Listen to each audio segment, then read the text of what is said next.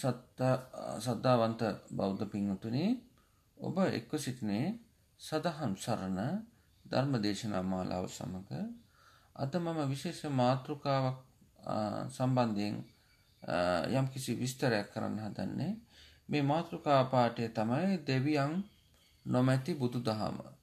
ගොඩක් අය බුදු දහමේ එන දේව සංකල්ප ගැන වැරදි විශ්වාස මත තමයි ජීවත්වෙන්නේ විශේෂයෙන්ම දේව ඇදහිලි ගැන. ගොඩක් දෙනෙක් දේව ඇදහිලි පිටිපස යමින් තමන් බෞද්ධයන් බව ප්‍රකාශ කරගන්නවා. එය අනුව අපි සම්පූර්ණයෙන්ම බුදුදහම අධ්‍යයනය කරොත් බුදුදහම දේව ඇදහිලි කිසිවක් නැති ධර්මයක්.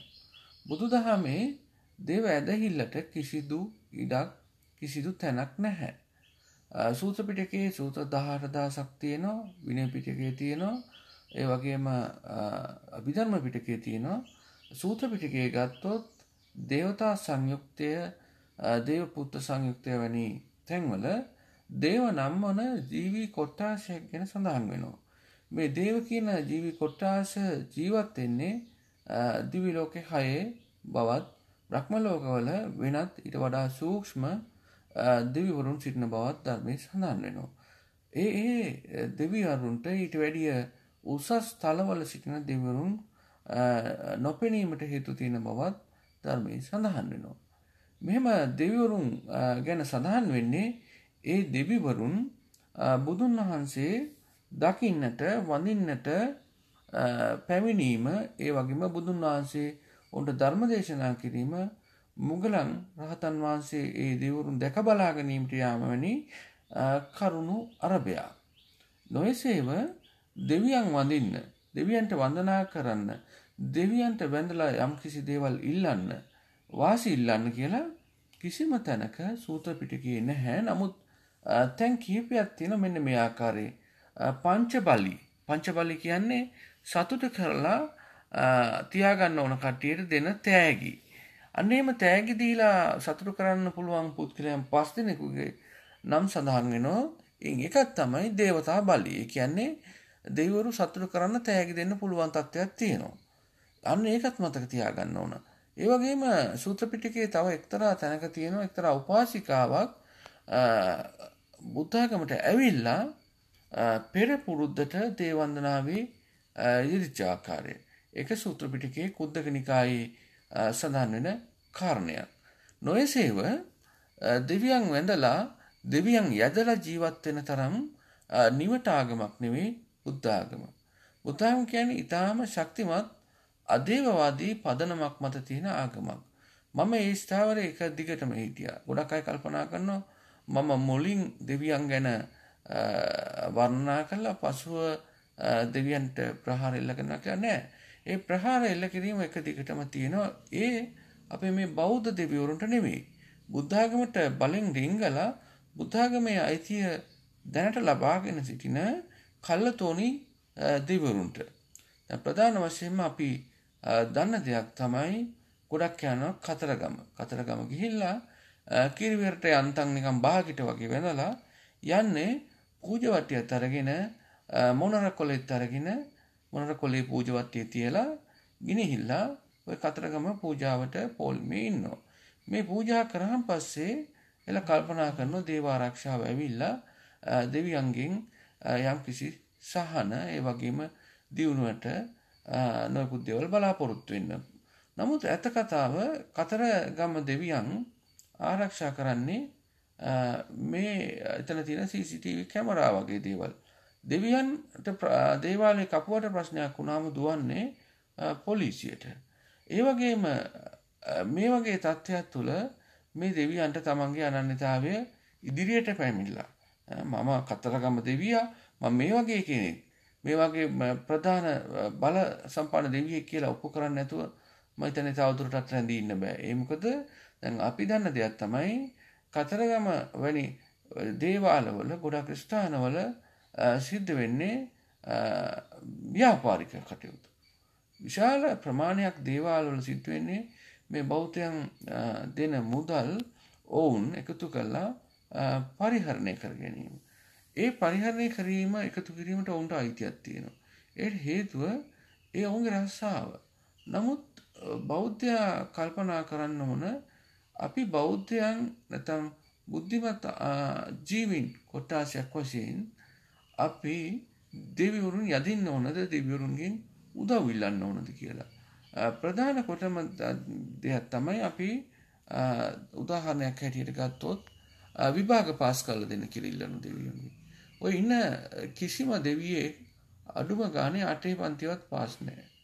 අටේ පන්තිවත් පාස් නැති කෙනෙකුට ඌට වැඩි උසස් විභාග පාස් කරලා දෙන්න කරන්න පුළුවන් දෙයක් ඇත්තෙම නෑ. එනිසා දෙවරුන්ට විභාග පාස් කළ දෙන්න බෑ. සමහරු කසාද හොයාගෙන දෙවරු ගාවට යනවා. දෙවරු ගාවට කියලා කසාද කරලා දෙන්න කියලා ඉන්නවා. නමුත් ඒ වගේ දේවලුත් කරන්න බෑ. ඒකට හේතුව ඒකට කපු මහත්තයෙකුට කරන්න පුළුවන්. නමුත් දෙවියෙකු කසාදයක් හොල් දීපු ආරංචිය මේ ලොවෙත් නෑ. නිසා ඒවත් කරන්න බෑ. ලෙඩ රෝග හොඳ කරලා දෙන්න කියලා කියනවා. ලෙඩ රෝග හොඳ කරන්නේ දොස්තරලා. දොස්තරලා වෛද්‍යවරු දෙවිවරුන් ලෙඩ රෝග හොඳ කරපු ආරංචියක් එහෙමත් නෑ.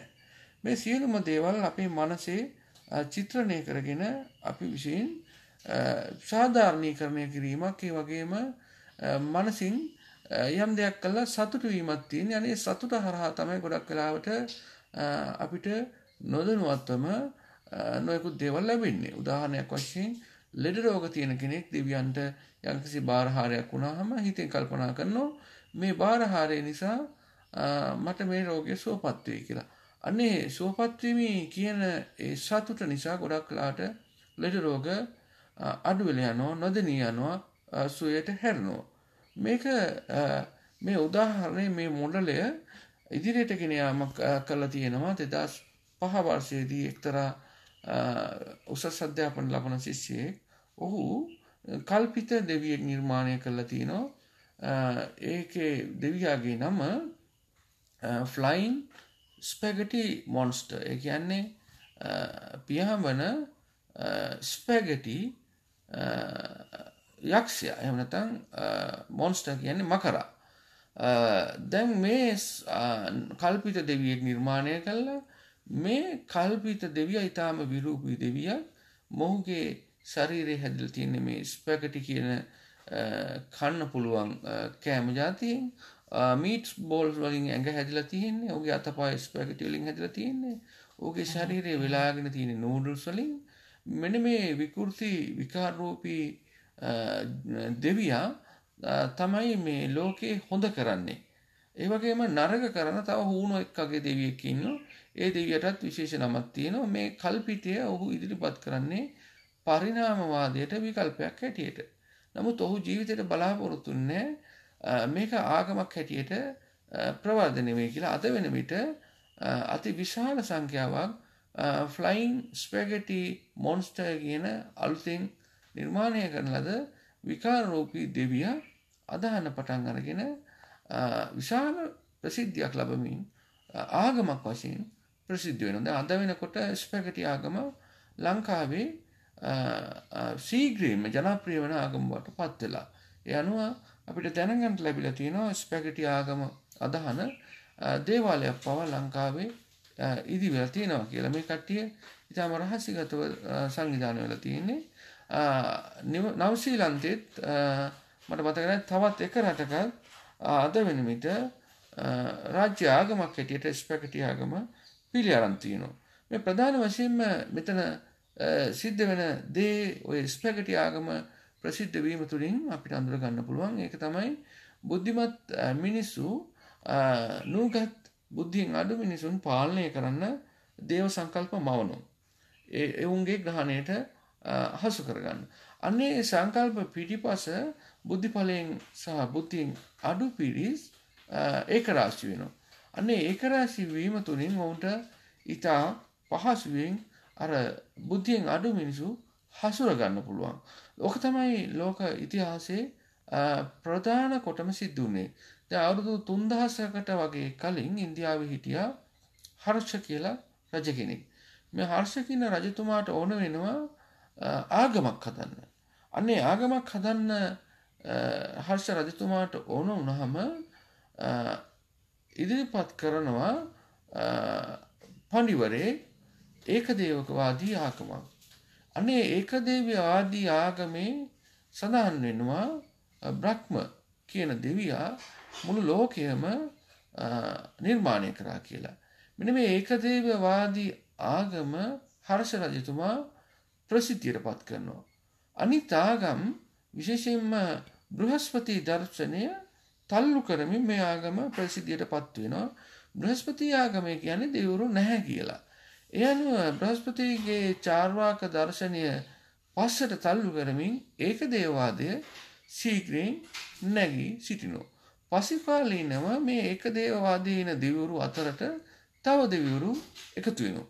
ඔන්න ඔයා ආදී වශයෙන් බ්‍රහ්ම විෂ්ණු ශිව කියලා ප්‍රධාන දේව තුන්කට්ටුවක් සිටින ආගමක් බිහි වෙනවා. නමුත් මතක තියාගන්න ඕන මේක බිහි කරේ හර්ෂ රජතුමා මිනිස්සු පාලනය කිරීමේ පහසු වෙන යාන්ත්‍රණයක් හැටියට.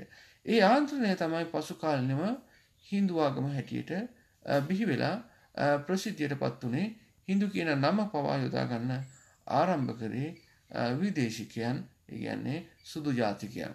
ඒ වගේම ඈත අතීතයේ ඔය ආකාරයෙන්ම ඉරානයෙන් ඉරානින් ඒකදේවාදී ආගමක් බිහි වුණා. ඒ සරතුෂ්ඨවාදය කියලා අපි කියනවා මේ සරතුෂ්ඨවාදයෙන් ආපු මොඩල් එක තමයි ක්‍රිස්තියානි ආගම, යුදෙව් ආගම, කැබල ආගම සහ මහත්මදාගම යන ආගම් හතරටම ව්‍යාප්ත වෙලා යන්නේ. ඒ මොඩලය තුල අර කියන ඒකදේවවාදී ලක්ෂණ තියෙනවා මේ මොඩලය ඉදිරිපත් වෙන්නේ ඒත් අවුරුදු 3000කට වගේ කලින්. ඒ මොඩලය තුළ දෙවියන් වහන්සේ ලෝකෙ නිර්මාණය කරනවා ජීවි නිර්මාණය කරනවා ලෝකේනවා අවසාන දිනයක් එක තමයි ඩෝම්ස් ඩේ කියල කියන්නේ. ඒ අවසාන දෙවියේ දිනේ දෙවියන් වහන්සේ නැත හොත් දෙවියන් වහන්සේගේ නියෝජිතයන් හොඳ සහ නරක කරපු අය තෝරලා එක්කෝ සදාකාලික සර්ගයට සදාකාලික නිටියට නිරපවා හරිනවා. ඔන්න ඔය ආකෘතිය ප්‍රසිද්ධ වේගෙන ගියා ඉරානය ප්‍රමුඛ රටවල් වල. ඒ අතරේ දැනට අවුරුදු දෙදස් නමසීයකට වගේ කලින් ඊශ්‍රයිලි සොලමන් රජ්ජුරුවෝ එයටත් ඕනනවා අලුතෙන් ආගමක් හදලා මිනිසුන් පාලනය කරන්න. අනේ සොලමන් රජ්ජුරුවෝ පඩිවරුන් දහ දෙනෙක් එකතු කල්ලා මෙයාකාරයම ආගමක් බිහි කරනවා. අන්නේ බිහි කරපු ආගම තමයි මේ පැරණි තෙස්තමේන්තුවේ සඳහන් වෙන බයිබල් ආගම. නමුත් මේ සොලමන් රජ්ජුරුවෝ අදේවවාදී පුද්ගලයෙක්. සොලමන් රජ්ජුරුව කියනවා මැරුණට පස්සේ ආත්මය සුළගේ ගසාගෙන යනවා මැරුණට පස්සේ නැවත උපතක් නැහැ කියලා. මේක බයිබලේ පැරණ තෙස්තමේන්තුවේ ඉතාම පැහැදිලිව තියෙනවා නමුත් එදස් හයිසිය එකොළහහි සංස්කරණය මුල් ඉංග්‍රිසි සංස්කරණය තිබිලා එදා සයිසිය අසූ එකේ පෙනී ගියා දෙවිනි සංස්කරණය කරනකොට ලොකු විරෝධතාවයක් ආවා මෙම කරුණ තුළ තිබුණා යේසුස් අයි අකුරින් පටන් ගන්න යේසුස් කියන තරුණේ තමන් දෙවියන්ගේ පුත්‍රයා බව ප්‍රකාශ කිරීම නිසා සොල්මන් රජු ඔහු මරා දෙමින් සම්බන්ධව. මෙතන යේසු ජේසු කියන චරිතය නැතන් ජීසස් කියන චරිතයත් යේසුස් කියන චරිතයත් ගැටීම නිසා දස් හයිසිය අසුව එක සංස්කරණයෙන් සම්පූර්ණයෙන්ම මට මතක හැටියට පොත් දොළහක් විතර අයින් කරනවා බයිබලේ පැරණි සංස්කරණයෙන් කියන්නේ පැරණි තෙස්තමේන්තුවේ. යනු අද එය පැරණිතම පිටපත්වල විතරයි බලාගන්න පුළුවන් අදේවාදී ලක්ෂණ සහිත ආගම. අන්නේ අදේවාදී ලක්ෂණයෙන් නැවතත් කිතු දහමත් ඒක දේවාදයට යොමු වෙනවා. මෙන මේ ඒකදේවේ මවාදී මොඩලය තමයි දීර්ඝ වශයෙන් මහම්මදාගමට ගිහිල්ලා මහත්මදාගමේ ඉතාම සීග්‍රයෙන් ව්‍යාප්ත වෙන්නේ. ඒ මහත්මදාගමට යාම තුළ නමුත් අර ඒබ්‍රහමික ආගම් එමනත්තන් අර සරතුස්වාදී මූලෙන්ගෙන ආගම්වල තියෙන ලෝක නිර්මාණයවාදය පිළිබඳ ලක්ෂණය ආකාරයම ගෙනියනවා. මෙතන විශේෂත්මය තියෙන්නේ ක්‍රිස්තියානි ආගම ඒවගේ මහම්මදාගම ඒවගේම සරතුත්සවාදය යන ආගම් තුනේම ලෝක අවසාන දිනය අවසාන දිනයේ විනිශ්චය සදාකාලික නිරේට නිරපීම හෝ සදාකාලික අපායට නිරපීම යන කරුණු සහ දෙවියන් විසින් ලෝකේ නිර්මාණය කරේ යන කරුණු ඒකාකාරීව සඳහන් වෙනවා. බුදු දහම ගත්තොත් ගොඩක් අය නොදන්න කතාවක් තමයි බුදු දහමේ ස්ථාවර දෙකක් සඳහන් වෙනවා ලෝකයේ දෙවියන්ගේ පාලනය ගැන කුද්දක නිකායේ සූත්‍ර කිහිපයක් තියෙනවා. අජීවි වස්තුවන්ට දේවත්වය පවරන ලද. ඒක තමයි ඡන්ද සූත්‍රය සූරිය සූත්‍රය. ඒ වගේම රාහු අසුරය සම්බන්ධ සූත්‍රයක් තියෙනවා.